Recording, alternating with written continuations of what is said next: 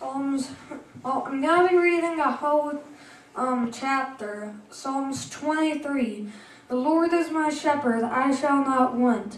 He maketh me lay down in green pastures. He leadeth me beside the still waters.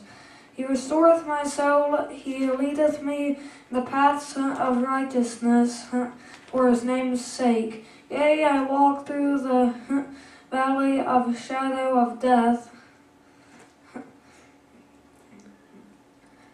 I will fear no evil, for thou art with me. Thy rod and thy staff, they comfort me.